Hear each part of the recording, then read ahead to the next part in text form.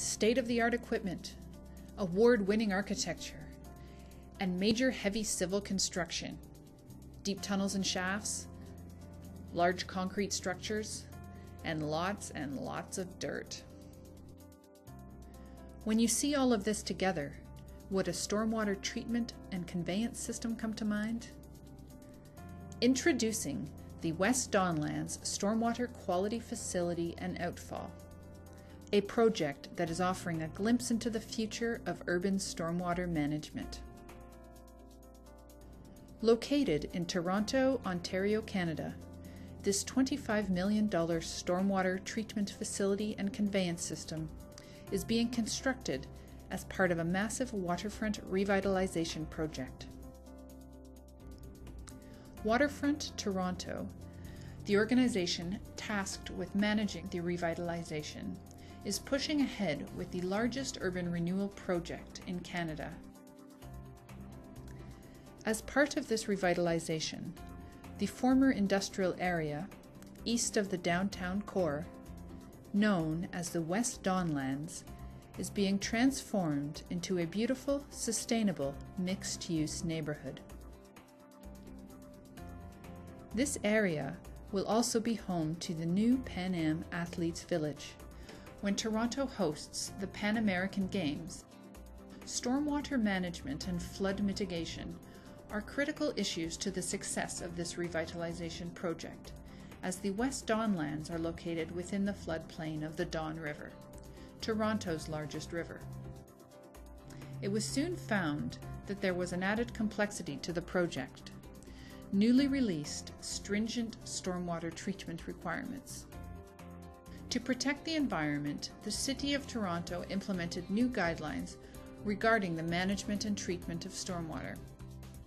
Meeting these guidelines required not only expertise in stormwater management, but also wastewater treatment expertise. The new stormwater quality facility uses treatment equipment normally used in traditional wastewater processes. So, how does this new facility work?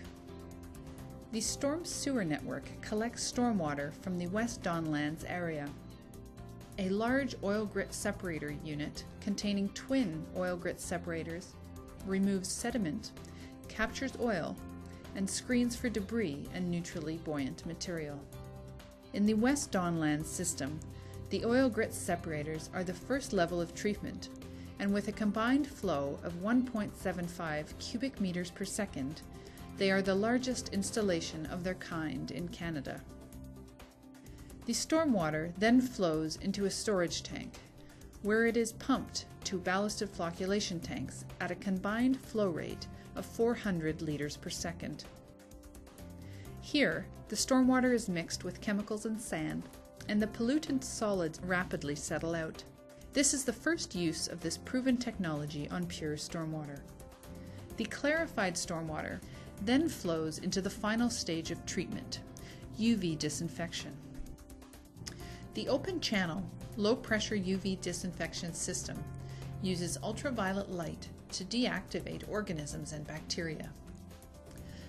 The treated water is then conveyed through an underground tunnel and discharged into Lake Ontario at the Keating Channel.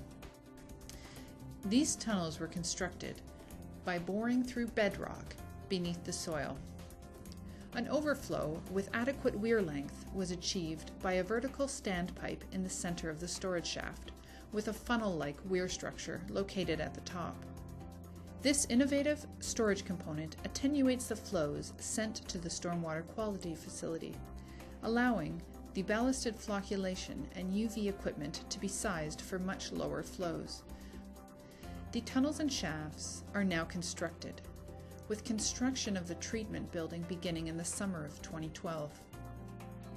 Construction is scheduled to continue until mid 2013, and when it is finished, this new facility could just be a model of urban stormwater treatment in the future.